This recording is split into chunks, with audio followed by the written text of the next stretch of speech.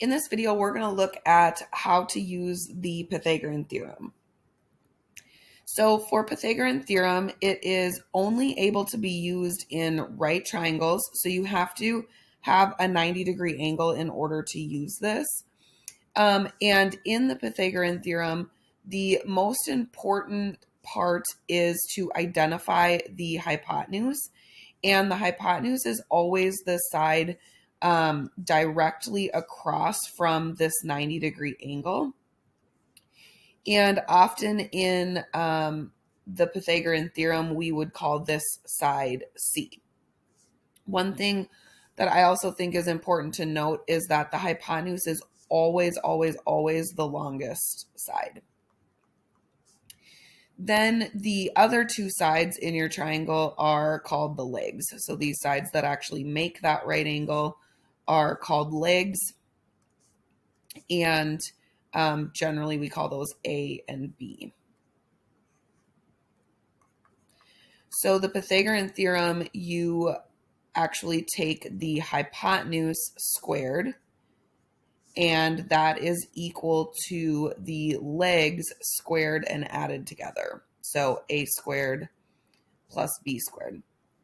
So c squared equals a squared plus b squared. It doesn't matter what order the a and b go in. That's why I said the c value or the hypotenuse is most important. That's the one that needs to be by itself. And then the other two sides need to be squared and added together. So let's take a look at a couple examples here. So we're going to be looking for this side and this side. And so I'll just put a variable on there. One thing I like to do is um, draw an arrow across from the 90 degree angle to point out the hypotenuse and then circle that value to make sure that I get the correct C value.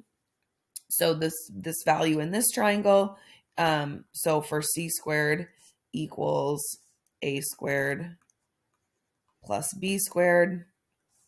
The c value in this case is x. So we'd have x squared equals, and then the legs in this one are 6 and 8, and so we can put those in any order here, but 6 squared plus 8 squared. Then you'll just go ahead and simplify anything you can. So we have x squared equals 36 plus 64. 36 and 64 on the same side of the equation. So we will just combine those. So 36 plus 64 is 100. To get x alone or to undo a squared, we would square root both sides and we end up with x equals 10. So then I like to check and make sure because this one's the hypotenuse. So this one should be the longest length. So 10 compared to 6 and 8 makes sense. That that would be the longest for the hypotenuse.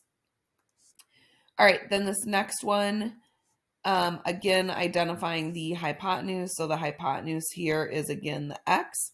So we'd have x squared equals the legs squared and added together. And the legs in this one are 4 and 7. So 4 squared plus 7 squared or the reverse, it won't matter. So then x squared equals 16 plus 49. Add together 16 and 49 since they're on the same side of the equation and we get 65. So then we can square root both sides here. And um, if you need to leave it in simplified radical form, that would just be the square root of 65. If you can leave it in decimal form, you can just type this into your into your calculator and you would get about 8.09. So again, 8.09 for the hypotenuse there makes sense because that's bigger than um, 4 and 7. Let's take a look at um, two more examples here. So we have these two triangles and we want to find that missing side length. So we'll just call it x again. Identify the hypotenuse. So across from the 90 in this case is the 14. So that's our C value. So we would do 14 squared equals the legs squared and added together. And the legs in this one are 9 and x. So we'll have 9 squared plus x squared. 14 squared is 196, so that equals 9 squared, which is 81, plus x squared. Now the 81 and 96 are not on the same side, so in order to get the 81 off of this side, we're going to subtract 81 to both sides. So then 196 minus 81 is 115, and that equals x squared since 81 minus 81 is 0. So we will square root both sides here to get x by itself. And again, if you need to leave this in simplified radical form, that would just be square root of 115. Otherwise, you can type this into your calculator here um, and get the decimal version of this and the square root of 115 as a decimal is about 10.72. So then this side here would be 10.72. Again, that makes sense because it's less than the hypotenuse and the hypotenuse has to be the longest.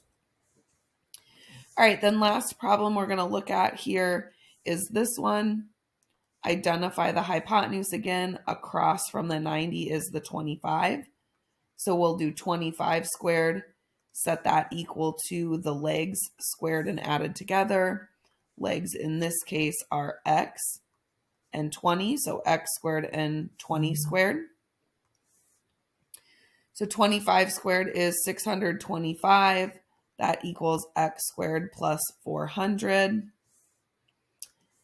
Need to get the 400 to the other side so that we have this x squared alone. So we will subtract 400 from both sides.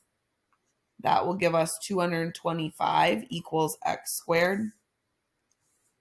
So then we will square root both sides. And square root of 225 is 15. So x equals 15. Again, this makes sense because it's smaller than the hypotenuse of 25.